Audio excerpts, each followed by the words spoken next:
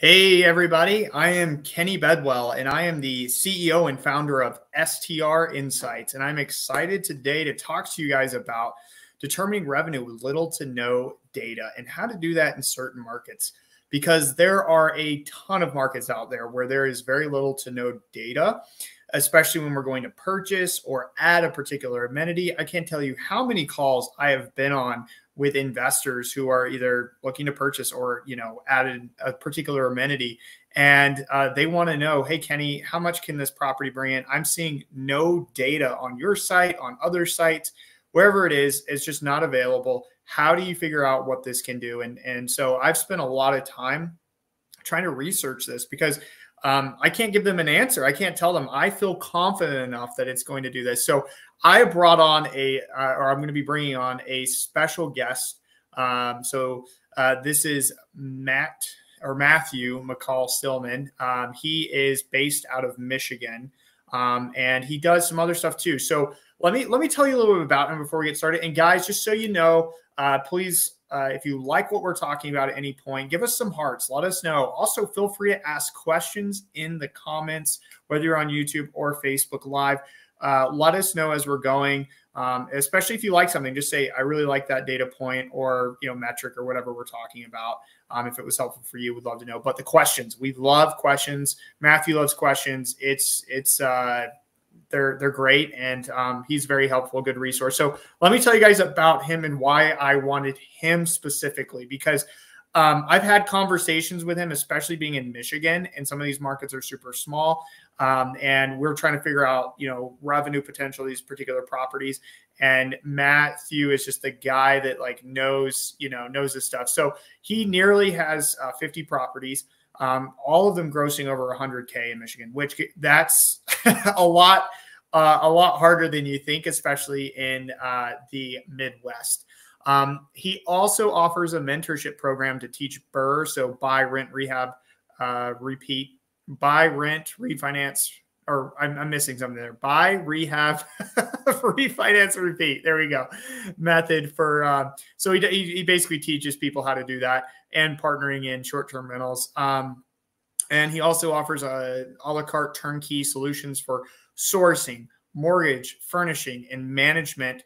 Um, and he does partnerships too. So he's got a lot of things going on. So he's not just like, hey, I'm a realtor to sell you properties. Um, I'm actually here to help you from A to Z. So a lot of people come, they have no experience, and Matthew excels in teaching them how and where to find good property. So without further ado, I'm going to bring him in. Hey, hey, hey, what's up? I'm going to switch this around and get us bigger. There we go. All right. Hey, how you doing? I'm great, man. Hey, thanks for that intro. I really appreciate it. Um, and yes, yes. Uh, to clarify, I don't. Not all of them are making a hundred thousand but we do on average uh, gross about a $100,000 across the portfolio. Um, so yeah, awesome. now it that's per month. I apologize. So yeah, it's still doing quite well. Um, what I want to also uh, mention is like we try to pair the BRRRR method, which is effectively flipping, with STRs. That way, people have add value plays, and I'm big big on having like really comfortable exit strategies. That's one thing I think a lot of people don't talk about. As a real estate mm-hmm. broker and mortgage broker, I'm here to make sure everybody in our circle is taken care of and getting a lot of wins. So that's what we've been doing. And Kenny, I met you almost a year ago, I think, actually at uh, the STR Wealth Conference. And um, from there, I've just seen you at every other function, and we've been catching up. Um, gotten got in touch with the STR Insights uh, platform, and it's been super helpful for me and my clients. Uh, met a lot of clients through there, and man, you know, our, our conversations have always been fun. And let's uh, let's kind of peel open a couple of those, uh, yeah. those uh, sections on the Midwest now.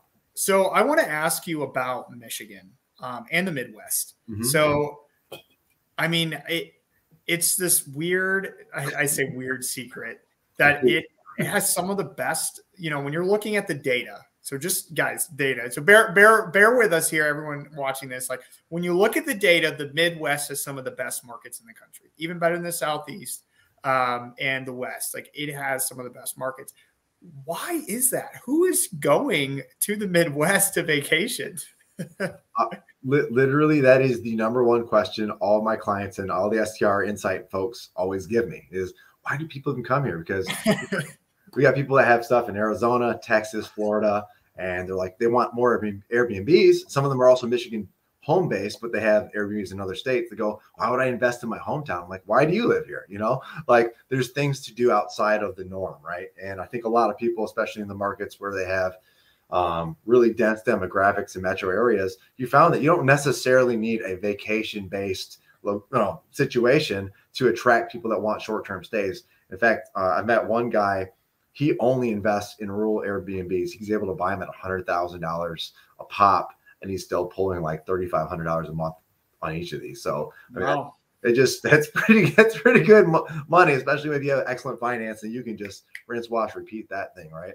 Um, so what? So as for the why, the why is any reason you can imagine. Yes, the Midwest doesn't necessarily have Disney World. It doesn't have um, you know the Pacific. Doesn't have the Atlantic. Doesn't have the Gulf. It's not the doesn't have those things. But what Michigan does have is the Great Lakes it's probably got the most inland lakes than any other state. Um, and honestly, Michigan summers, I would never give them up. There's something yeah. really special about them. Um, and the fact that actually during COVID, we saw a huge boom um, in STRs and interest because a lot of the people that were in Silicon Valley were like, holy crap, I can get a lakefront mansion for under a million dollars. And so these people came out this way and started buying up things for, you know, 700 to a million dollars, got these gorgeous, huge, you know, 4,000 square foot uh, homes that are generally new. Uh, and they're like, Hey, I'm just going to, I'm going to work here. And then once everything kind of got normalized, it went back, but now they Airbnb it and have some of us manage them. Right. So they've been, they were able to go, wow, that actually worked out. I, a, a got a beautiful property. Um, I'm actually building equity now, stuff I can't really do as easily in Silicon Valley. And I'm seeing more and more non-Michigan people invest in Michigan because the ROI is there. And like, you know, I call them sometimes people need what I call a tester deal. Like they mm-hmm. I get them something that's like in that 250 to 300 range. Let them see that it can function effectively here. And it's like it's a pretty like safe range. If you needed to resell it, it's usually still in a primary market where somebody that wants to buy a primary or secondary uh, home, uh, they can go in there and swoop it up pretty quickly you won't be sitting on the market for months. You'll be, you know, if you're on the market, you'll probably gone 30 to 45 days anyway. Um, please note all the panic and mayhem when you hear about Airbnbs being oversaturated. What they're usually talking about is all the Sunbelt action, right? Where all the yeah. density is, where all the massive like competition is. The Midwest, however, does not have it. So what's crazy is this is what I'm seeing some of the people that invest in Florida and, and Texas do.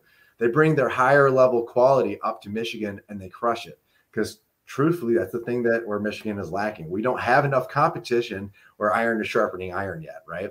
So mm. you can put together like a decent place and it can just it can stand out because there's not a lot of great stuff up here. Um, but now that we've kind of figured out what our secret sauce is, um, we're able to duplicate that at a pretty accelerated rate, and we're just we're racking them up for us for ourselves and our clients. And a lot of people love that you can buy, you know, real you can get I can get people lakefront from like 350 to 600 pretty comfortably and you know 2000 square feet and they can pull off like 150,000 in gross income. So it's like when you're doing that, you're like pretty good return, right? right? So we're seeing a lot of that. Some people want the 250 range. You're going to definitely be north of 500 in your purchase, maybe 750. But to get that that level of gross um, income versus the expenditure of the home, it's it's a great ratio up here. Yeah, that's that's really interesting. So yeah, I mean, what would you say? We'll, we'll say the lake areas, um, you know, some nicer areas in Michigan. What would you say the average revenue would be in those type of markets that you've seen from your experience? I mean, it's kind of a, on the spot, you know, no, like tell us I'll, the answer. I would say for a well put together, probably four bed, two bath. That's typically what my my mix. I like to find properties that are like that, or make buy three ones and make them four twos. Um, I would say you're going to average about a hundred thousand, and you can probably stay again. You can be under or close to 400. Um, that's the average thing that we see. Okay. If you're doing a really good job, or you're able to, you know, you have a, you have a hot tub jacuzzi situation, um, a really great deck, um, you can see that 150, 250 range pop up real quick. Depending, also dependent on how much frontage you have. Do you have a dock? Do you have um, a few other amenities. Do you have an EV charger? Like these little things where people go, like, think about it. Like for all the the uh, electric car owners in the area, especially in the Midwest, like I want to go go to the lake. One of the first things you're going to do if you're an electric car owner, that's all you have, is you're searching by EV charger first, right? For like, right. I need to know what's what's going on. Like one of our guys, Jeremy, he got one on Houghton Lake, beautiful house. Um, he's got an electric car charger. He's going to be one of the first people to have an EV charger option on Houghton Lake, which is one of the biggest inland lakes. In, it is the biggest, I think, actually. Um, and I think he's gonna he's gonna pull a lot of revenue and he's gonna do really well. Uh, also an STR Insights guy. Um, but uh, yeah, we see a lot of range, man. But to get to that 200, 250 range, um, the fact that you don't have to be at nearly a million like so many other markets is just it's amazing. And, and just to clarify, when you're saying two hundred thousand dollars of gross revenue to two hundred fifty thousand yeah. dollars, and then purchase price is still under a 1000000 mm-hmm. Is that what you're saying? Correct. Yeah, okay. I, I, almost always speak in annualized gross. Um, I love um, it.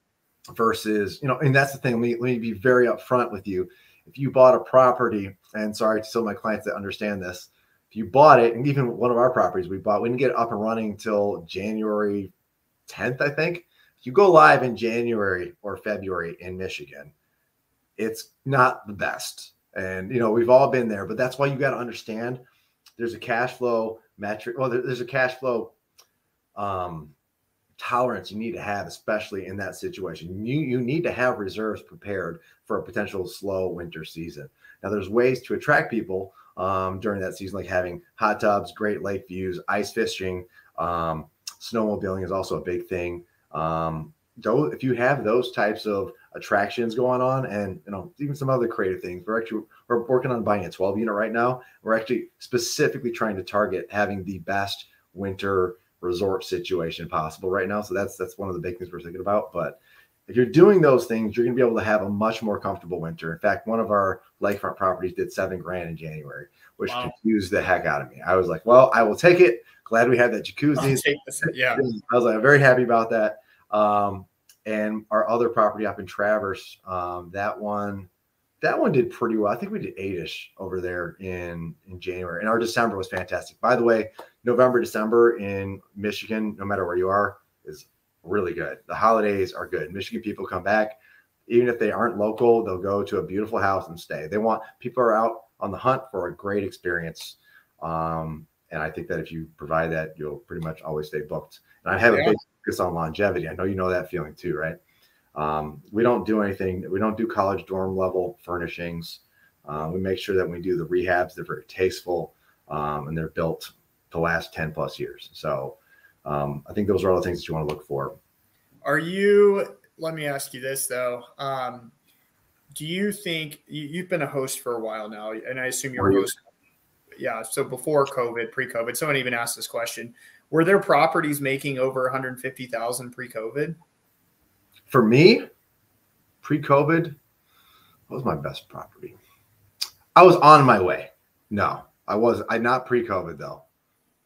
I'd say during COVID, I actually, in fact, I, my very first property where when data did not exist, I took a gamble on my gut of what I, I think the market needs a short term rental in the city. I went for it. It worked out. And that's this is my first one. Let me tell you guys, it was garbage. I did a terrible job on first. It was college dorm level terrible. Ugh. I've redone it twice now. Um, but when I did that, it kind of it gave me a chance to see that hey you know what? If you can pick something without any data point or anything else to compare it to um, based on just like understanding what people need that's i call it like understanding like the negative space what's not what does not exist there. Is there are there hotels? Is there are there motels? I will target cities that don't even have them. A lot of people target only when they have them right? I'll mm. target they don't have them. So like there's a lack of short-term um, opportunity for, for people to stay if they want to come visit friends or family right so I did that, and that property while we were in COVID, I was I was literally biting my my nails, like, oh my god, my my whole empire is about to collapse on me, is what I thought was going to happen. But what actually happened was some of my long terms, I start, I started getting some slower rents. I had I think only one eviction, knock on something, um, and my short term, like went it just blew past all the long terms. And I said, you know what? Uh, my next vacancy on my long term is coming up. I'm going to convert that one too. I converted it to short. And I go, oh my God, I bought this house. I had, you'll love this. I had bought this house for, I think, I think $60,000. Probably put 15 into it. and it was making about forty two hundred dollars a month. So wow. I was like, "This ROI, right?" Um, and honestly, once I had my second one up and running, I was like, "I think I get it now." And that's when I kind of just went nuts with it. And by the time I met you, I was in the mid twenties um, with my Airbnbs, and now we're just growing. We just keep growing from there. That's awesome. Yeah. Um, okay, so let's talk. Let's dive more into this this idea of investing in markets where there's not a lot of data to support. Hey, this is a good market to go into. So for me, that that's a little scary. Um, so do you continue to do that now? I mean, mark the market has shifted. Is that still your strategy? Um, and if so, like what? But are there any indicators for you that hey, this could be a good market that needs short term rentals? Like, how do you figure that out today? Um, that's a really good question. Um, I yes, the, the short answer is yes. I'm under contract on 15 more units. Um, so I always say never trust a person that's telling you to buy something and isn't also buying, right? Um, yeah, I, that's one of my things. Like you, if you aren't in the market, you you shouldn't probably be telling people to buy. Um, sorry to everybody that's not in that category. Uh, but um, when I'm looking at properties, um, especially when I'm in an area that doesn't have the data to say, hey, this Airbnb has this, area has history of being successful in Airbnb. I'm looking at what has the attraction been. You know, if I if I reach out to some of the groups in Michigan or I go find out, like, you know, so if you go to Metro tra- tra- Traverse City, it's like you're going trying to try to find a bunch of cities, a bunch of Facebook groups about Traverse City. What's the what's the general uh, conversation like? Do I see a lot of people are going there? Do a lot of people enjoy it? Eh, are, do they, are they conversationalists? I'll Google like uh, uh short-term rentals, and people who like them, don't like them. You'll find everything under the sun about that conversation point, right? So I do a little research. Um, the one I'm looking at right now is in Hale, Michigan, which I've never been to Hale, Michigan. And until I started investigating to do this 12 unit, uh, I had no idea. And, you know, even with uh, one of my partners I'm going in on it with, uh, we looked up some of the data on STR Insights and AirDNA, and honestly, it was spotty. There's not a whole lot of data proving that this will do well. Um, but we said, hey, you know what? What do we know? What can we, what, what, what, what is the negative space? Like what is not existent here that we can provide at this point? So we started looking at of the properties that are there currently. Like we saw a couple three three beds, some four beds, some two beds, and the property we're buying is a is a multi-unit of ones, twos, and a three. And I said, okay, well let's let's kind of do some reverse um, engineering here, right? As we kind of like dove into this property and saw what the other threes were, a all the threes up there were generally ugly. Um, they were poorly put together. The furnishing, there was nothing really attractive about it. You'd go there, it's cabiny, mom and pop put it together and said you can you can borrow it for the weekend if you like, if you want to pay them. That's what it felt. I, you know exactly what I'm saying. Leave the money in the mailbox and uh, oh my god, and and of them, uh, the owners they kind of they were trying to show us their their numbers, which were all pretty much handwritten. Um, we kind of realized like, all right, this property we can't bet on it. But then we looked at like how are they marketing it? They had one of their units on Airbnb, one.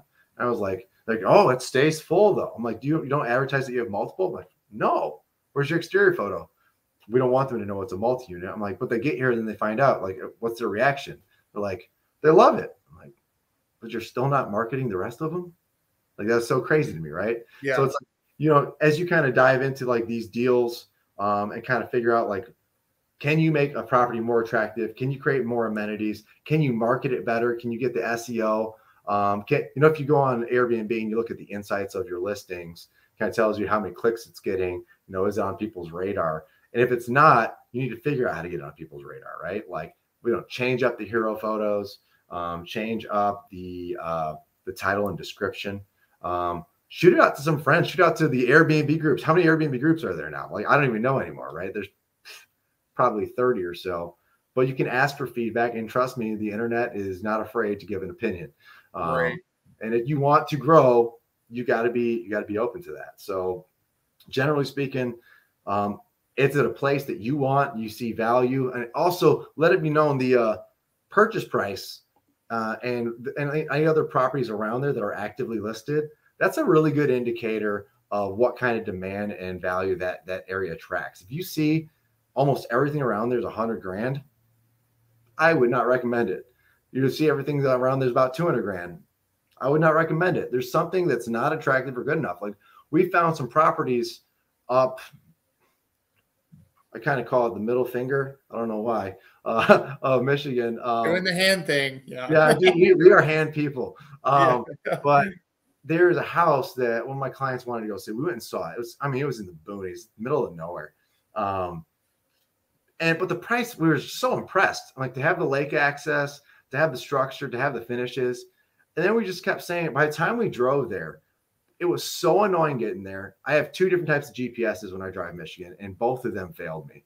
And I just said, dude, think about how much trouble we just had getting this right, getting here. That there's a reason that this thing can't be sold right now. So there's there's a reason it's not on the market. So if you see something not sitting, it either needs um, a substantially lesser offer, or it's over because it's overpriced, or because, well, in addition to that, because it's just it's not a good property. It's not a good area. There's not enough desirability and if you do buy it and the Airbnb fails, you're now stuck with an asset you can't liquidate, right?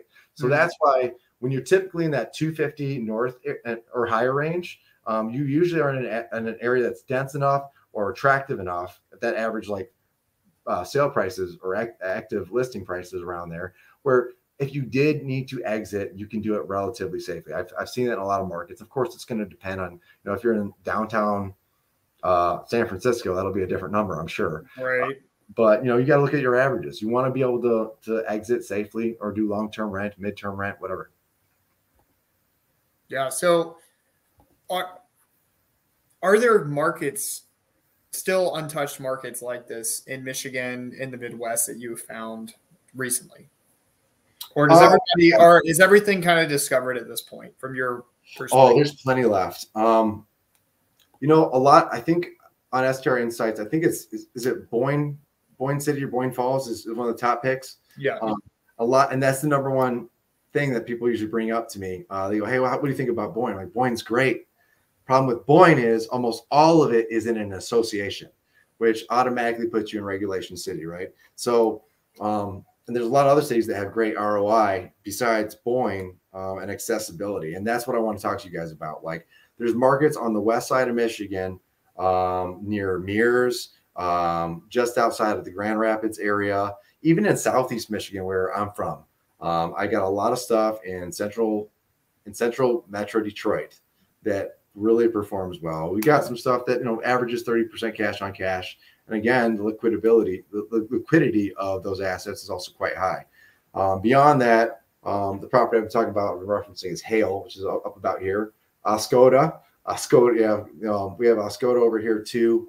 Um, that's generally built up, but it's mostly commercial, like small little hotel resorts. Um, I think there's a really good opportunity for people that bought houses along this coast of Michigan um, to really like exploit and create that comfort. One of our other clients bought one up here in Alpena, um, and they're they're on their way, man. It's actually become like a really uh, quaint town. There's a lot of growth up there. Um, beyond that, a lot of people are interested in the UP, the Upper Peninsula, uh, which is this. yeah, hand signals. Yeah, yeah. Just so you guys know, people in the Midwest, when they refer to their state, they do hands like this is what Michigan looks like. Yeah, yeah. um, but if you know about, if you've heard about pictured rocks? I presume pictured rocks. Oh yeah, yeah, yeah, yeah, yeah. Isn't it a gorgeous. national shoreline or something like that? Yeah, it's just beautiful, man. Um, don't get too close. Uh, we were within a week of rocks falling on our head one time, and that would have absolutely killed us. Um, but oh, okay. you don't want to get too close. I promise. Like stay probably 50 yards minimum back from that thing, because um, occasionally they fall. But um, there's a a little place called Uncle Ducky's uh, which is a good launch point for people that want to kayak along and, and the uh, the picture rocks um, and just take pictures and just enjoy like a nice little 10 mile uh, kayak session. Um, but a lot of people launch from there. Now, what Uncle Ducky's been doing for years is he's got, I think it's like 30 yurts there. Hmm. And I think he charges like a thousand dollars a week and he's booked solid during the summer. So you do the math, he's doing well. You know, the cost of a yurt is not much. He's got a really nice bathing facility, and that's what that people do, right? But what I'm getting to is there's still not a lot of good Airbnbs up there. Right. Um, and I think that that like even Marquette, Marquette's like a really big town up there. Um, if you focus on those areas that are kind of under, undiscovered on or not let underserved. Underserved. Right? Yeah, yeah, yeah. It does feel like the new world when you're up there. It is way supernatural. It's supernatural in the sense that like you like you've never seen like such untouched landscape. It's amazing. Um, so I think those are great spots. I'm not necessarily saying people should jump toward those. There is definitely more risk when it's underserved or there isn't as much data.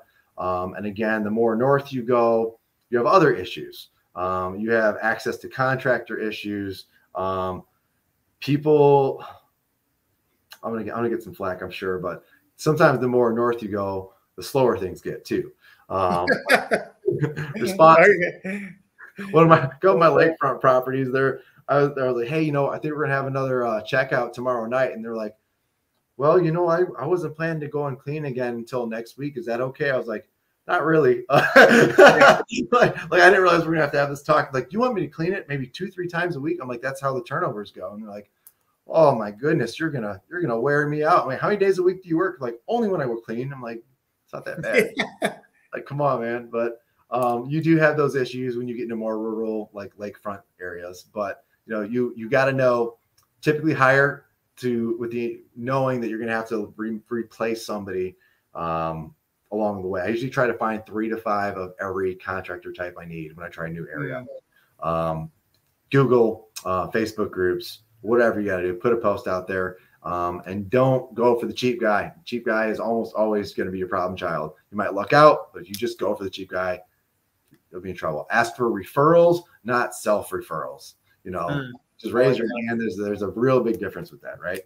Um, so sorry to kind of cut you off there, but I want to get more into the data data side of things and understanding when there's a lack of data. What do you? So you've got you know you, you found an area that's um, underserved. You you know you see the potential in terms of there's traffic. There's some traffic drivers nearby. Yep. It's accessible. The housing prices make sense uh, so there's a there's an actual housing market there. I think that's important. It's a key metric that you identified. Mm-hmm. Um, but what do you do? How do you figure out revenue? And and then let's dive into the example that you and I. So let's answer that question first, and then we'll dive into the example that you and I had talked about a few months ago with a property that uh, I assume you guys closed on, right? uh, maybe it was Cadillac. Yeah. Yeah, that was a Cadillac one. Yeah. So um, so what yeah so we'll answer that how do you evaluate revenue of properties where you have no data in those areas so this is tough and i apologize because i know we haven't been super direct about this because sometimes it's hard to without bringing up at, you know str insights for that matter um, so if we're going to I'll, I'll use the first property again because i think that's just an easy one to kind of describe the scenario around that property has generally an older clientele um, it's in a city that's it's well maintained. Everything's going well. There's just not really many hotels or motels. When I saw that, and I saw that its proximity to Detroit was um, uh, within 30 minutes, and Detroit was doing really well. I said, okay, with the few that I had even seen in Detroit, and there was nothing in this city.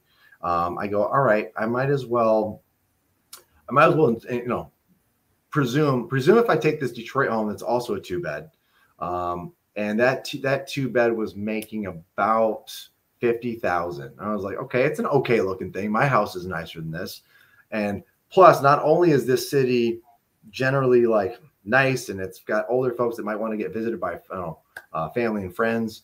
Um, it's also pretty close to the Detroit River. Uh, and there's some really nice walkways. There's a nice little downtown there. I said, my gut tells me this should work. It's it's still within 45 minutes of the airport. It's within 10 to 15 minutes of a couple uh, local hospitals. I saw all these factors that I said, hey, proximity is looking pretty good, right? And I saw one property that I was, like I said, this two bed that was within 30 minutes of it. I was like, you know what? I feel like it if it hits 75% of what that does, my property is more attractive and I can market better than that person, which I'm sure I can.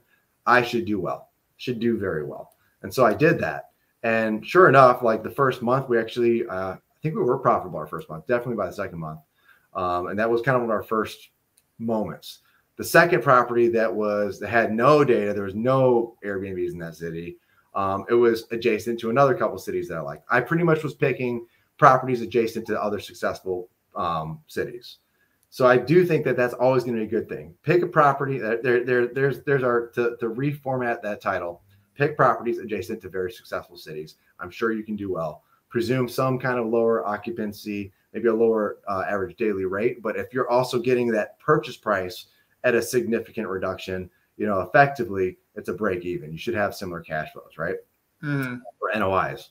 Um, and then from from there, that's when I said, you know, I want to get a little more risky. I want to break into markets I like. I said I wanted to get into a lakefront property.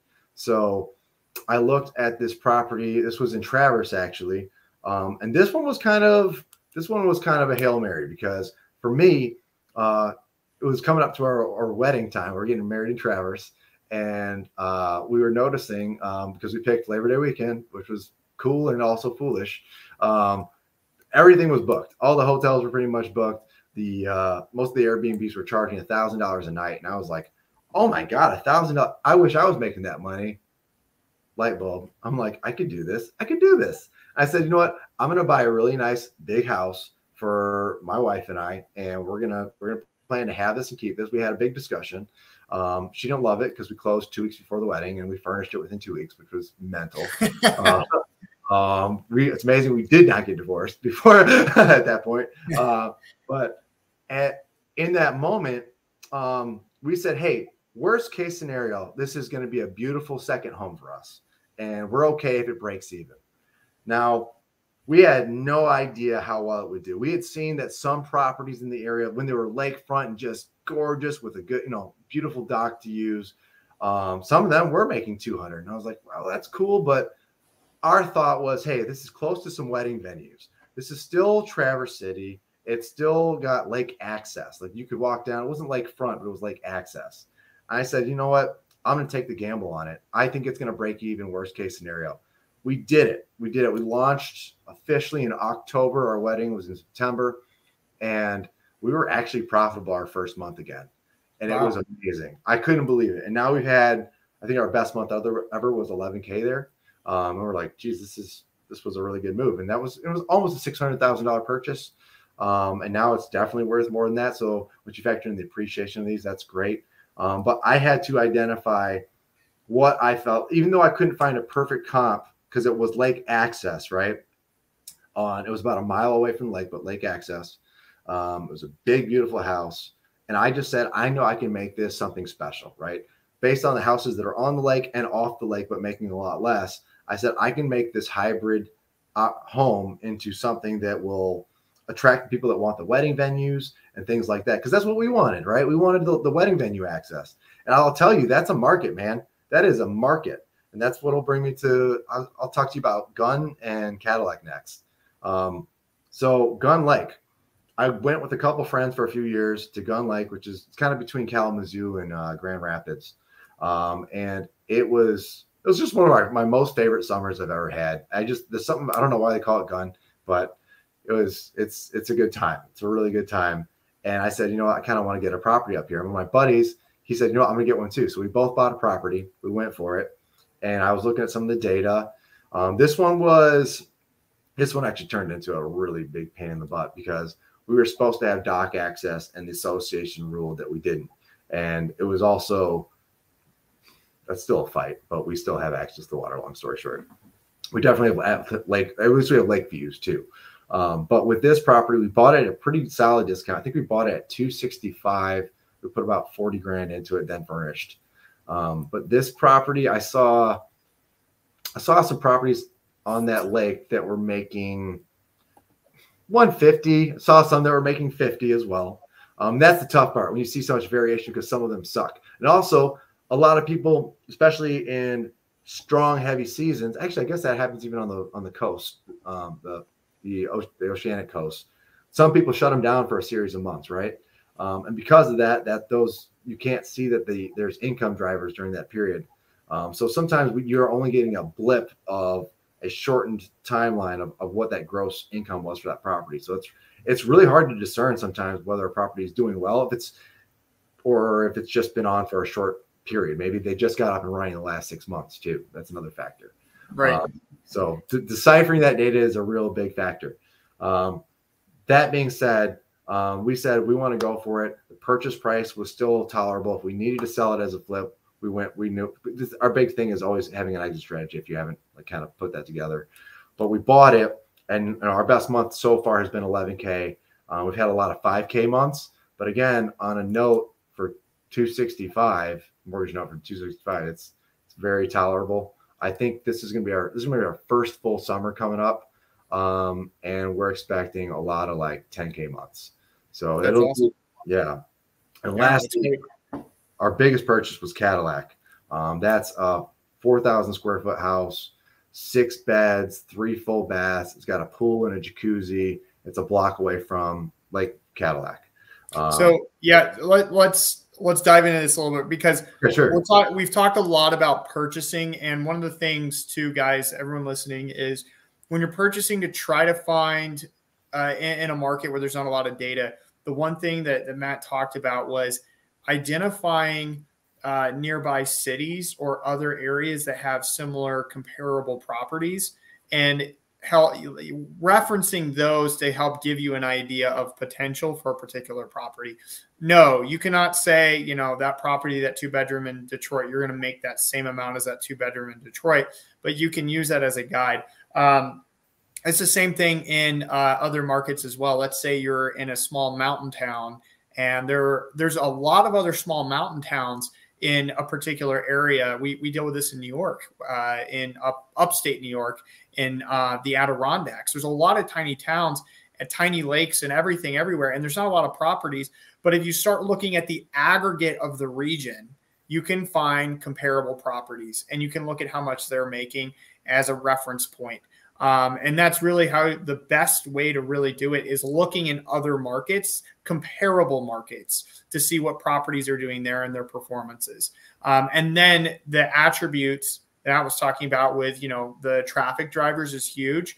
Uh, near, you know, and then the nearby cities and things, and then the exit strategy as well. You can't just buy something out in the middle of nowhere overpriced and then expect if you try to exit and sell and expect to sell it for the same price. So that that was that that's really key as well. But let's still go into more about this property in Cadillac. So uh, he, Matt sent it over to me, and it was off the lake. All the properties there were on the lake, and I was like, "Man, you're not going to make any money. Like it's off the lake. Like why would you?" Um, but but this property was extremely unique. So tell us tell us about this property and tell us uh, why you felt like it would do as well as what it's doing. Man you just took me back. I remember th- th- it was a, such a shot to the ego when kenny said what are you doing? Politely of course. Um, but i so yeah no this this was probably my biggest outlier property the one that was like it felt like a as they put it a full send right? Um, yeah. so we looked at this property. There's it was so visually unique. Every time you look at it, you go, I just got to look through these pictures again. Even though we bought it, we keep doing that, right? Um, but it, it's called Orange Cadillac because it's pretty much all orange siding, which is really abnormal, but it's oddly attractive and good too. Um, and we were looking at the comps again, like Kenny noted, they were all on the lake. Um, the, the only ones that were off the lake were making like nothing really. Um, and for a half million dollar purchase, um, and the kind of rehab and furnishing that this was going to require, it felt pretty pretty nutty. I mean, I think we probably put in, oh man, probably about fifty in rehab, and probably about probably about seventy in furnishing. It was, it was our most our biggest furnish ever. A lot of high end stuff, a lot of nice stuff, um, and it was going to be very expensive. The whole project was expensive, but and again, it also broke my other rule, which is having an, exit strategy to sell it where there would be good comps. There aren't good comps. This there's nothing that will comp like this. Um, the only thing that breaks 700 is lakefront.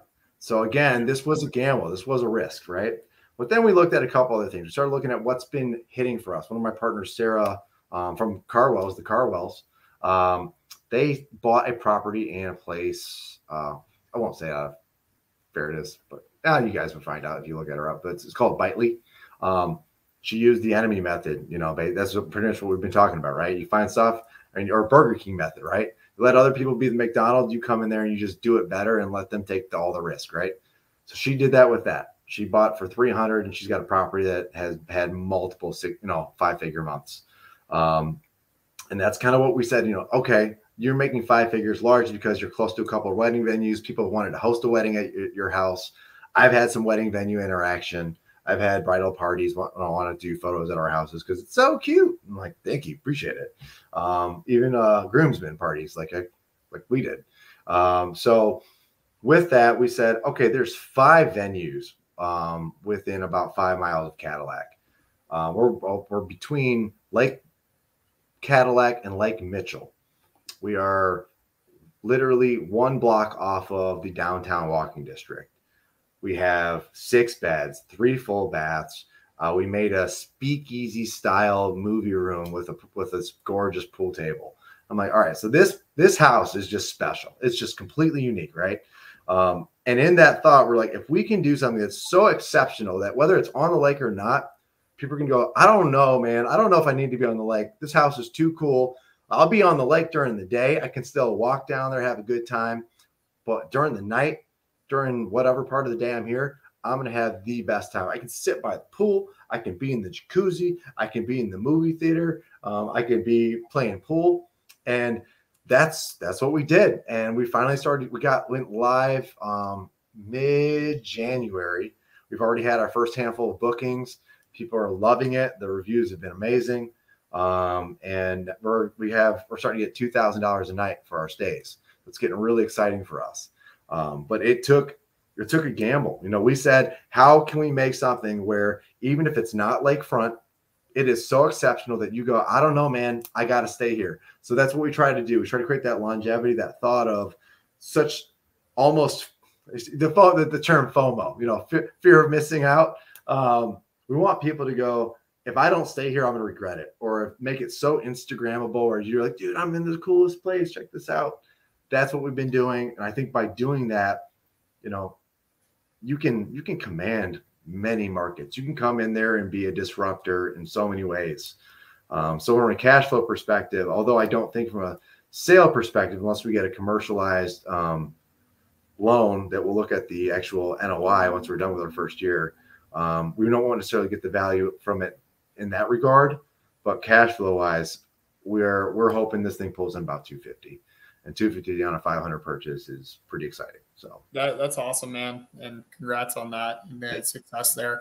I think, let me just preface everything here, guys. Um, not for the, the weak of heart and making, you know, some of these decisions. Uh, I, uh, I usually teach people beginners, especially don't, don't do something that's not already proven because you're taking on more risk. And so, it's really important to understand what he Matt's saying here is that you really need to un, you need to know he's got a team, he's got professionals, he has experience, you know. And I'm not saying you can't go in any market with no experience, but there's a risk level here. So just be mindful of that when you make these decisions. The number one thing, though, the number one value that he um, that he he was talking about what they did in each of these markets is boots on the ground and understanding that market, being there in person if the data is not there, then and you're like, you know, in a completely different state, how are you going to learn about that market and make a wise decision, a prudent financial decision? You're not. Um, you need to have an expert. You need to work with an expert. And so, um, yeah, I, I, mean, some people are asking if uh, we can show example the the house. I I don't I can't like share it on here unfortunately. Um, so I'll, I'll post it uh, in the uh, in the description or something a link to that property, Matt, if you're okay with that.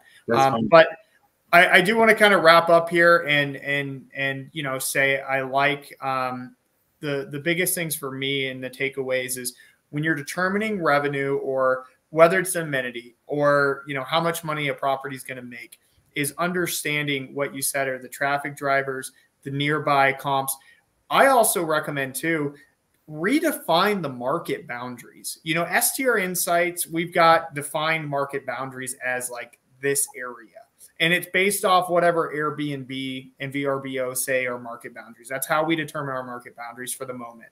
Um, it's about to switch to zip code in, a, in less than a month, but hey, that's coming.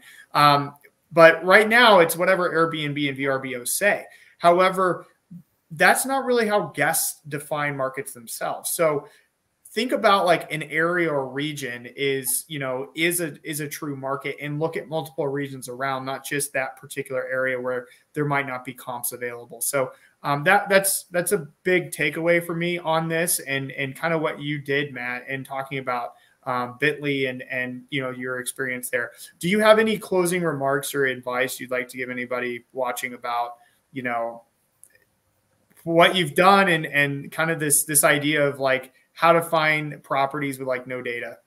You know, I, it's such a it's such a can of worms question for me because I could talk for hours on this, and I go, I my ADD hits sometimes. Apologies, yeah.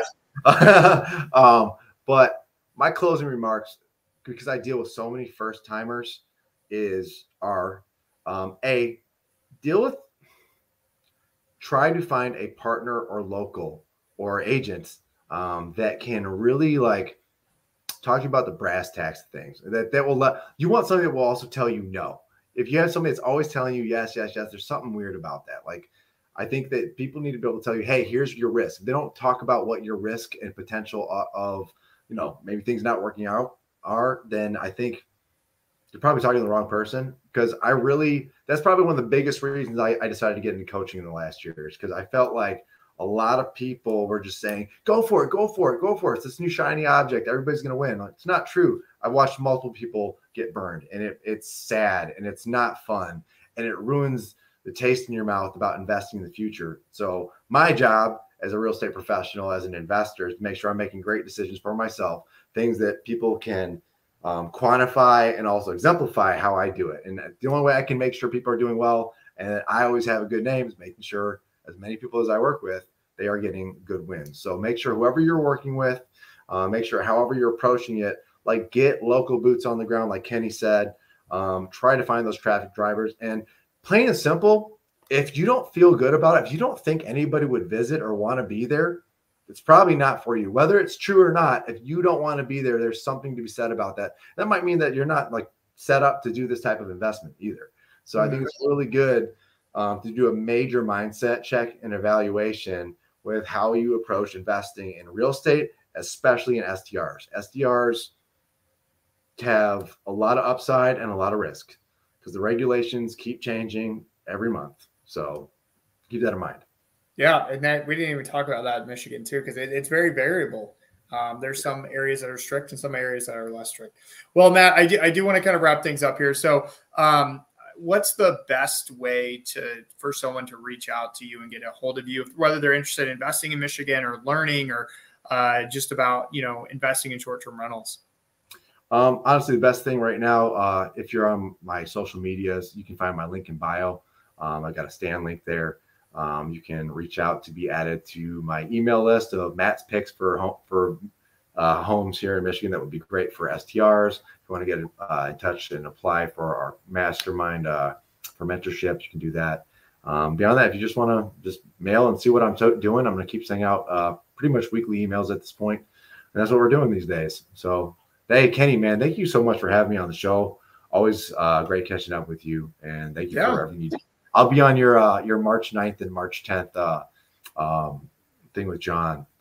Definitely Sweet, no pressure, right? Yeah, yeah, yeah. Our uh, data event. So yeah, guys. Also, too, I appreciate that shout out there, uh, Matt. But um, uh, so just everybody listening, we are so John Bianchi and I did an interview with him. Uh, I think it was last week or the week before. I don't know. The weeks are kind of flying for me. Um, we're hosting a, a virtual data boot camp. We're helping you walk A to Z on how to find profitable cash flowing properties in 2023 and the steps we can make. I guarantee you that um, all you know you can find it or the stuff on YouTube um, or you know Facebook, the link into the the site uh, to, for the event.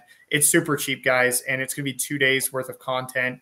Very very good. You're gonna get a workbook. You're gonna we're gonna put you to work. We're gonna help. You're gonna walk away with a strategy uh, to how you can find uh, profitable properties, and you might end up calling Matt afterwards. I mean, like where that that's the goal is to you know actionable items and I think that's you know that's why we do it. It's not um, you know this isn't some like money grab. This is to help everybody because we've been getting a lot of calls, and frankly, a lot of people are just confused. And Matt, I'm sure you've seen that too. And you've got to educate and teach people. And so uh, this is the way we're doing it. But without uh, with that being said, guys, if you want to contact Matt, here's his link below. Um, reach out to him.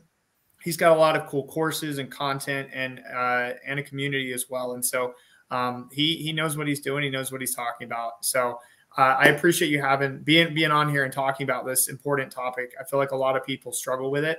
Um, and so anyway, thanks everybody for for uh, for watching, and uh, we'll see you next time.